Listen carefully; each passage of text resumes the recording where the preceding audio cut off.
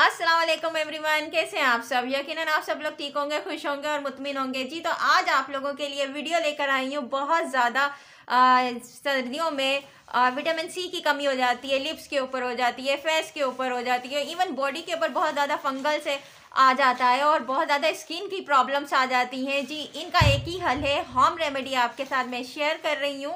जी तो home remedy शुरू करने से पहले जिन लोगों ने मेरा चैनल सब्सक्राइब नहीं किया तो प्लीज़ वो सब्सक्राइब कर दें और साथ लगे बेल आइकन को प्रेस कर दें। जी तो रेमेडी है चिया सीड की और चिया सीड तो वे, वेट लूज में भी बहुत ज़्यादा कारे आमद होती है और इसके अलावा और भी इसके बहुत से बेनिफिट होते हैं। प्रेगनेंसी हो जाए या होम रेमेडी हो जाए इसकी जैसे एवोकाडा हो गया आ, कहा जाता है कि ये खाएँ इससे विटामिन सी की कमी पूरी होती है लेकिन जो सर्दियों के फल होते हैं या फिर गर्मियों के फल होते हैं वो ज़रूर खाने चाहिए इंसान को।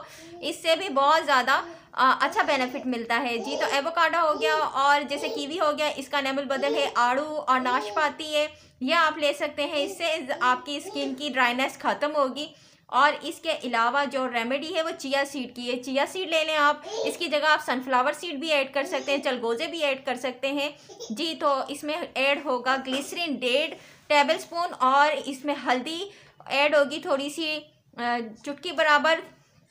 और इसके अलावा इसके अंदर ऐड होगा मिल्क और इसका मिक्सचर बन जाएगा। लेमन इसमें छिलके समेत आप ऐड कीजिएगा विटामिन सी का ख़जाना और फिर आप इसे ग्राइंड करके अपने फेस के ऊपर, अपनी बॉडी के ऊपर लगाएँ और नहाने से पहले आप इसे अपने बॉडी के ऊपर लगाएँ और फिर आधा घंटा वेट करने के बाद आप इसे वॉश कर लें। इससे बहुत अच्छे नतज होंगे और आप लोगों को इसका बेनिफिट मिलेगा।